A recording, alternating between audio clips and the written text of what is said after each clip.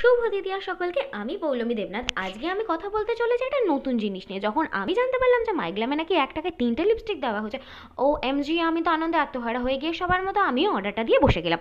তারপরে আমার আজকে পার্সেলটা যখন আসলো, আমি তো ওপেন করে আই এম তো অবাক যে সত্যি এক টাকায় তিনটে লিপস্টিক এসে গেছে। চলো গুনে নিই প্রথমে কটা লিপস্টিক দেওয়া হয়েছে? না, আমি তো দেখছি যে না, ঠিকই দেওয়া হয়েছে। তাহলে গুনে নিই প্রথমে এক, দুই, তিন, তিনটে লিপস্টিকে দেওয়া হয়েছে তাহলে।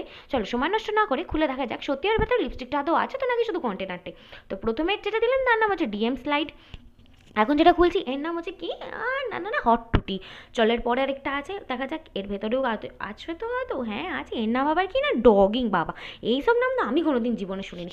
চলো, হাতে একটু ঘষে নেওয়া যাক। ঘষে লিপে দেখা না আছে আদৌ চলছে কিনা। ও মা, ঘষে তো দেখছি একদম ঠিকঠাক রয়েছে। এবার ঠোঁটে দেওয়া যাক। এই লিপস্টিকটা আমি ঠোঁটে দিয়ে নিয়েছি। একদম ঠিক আছে।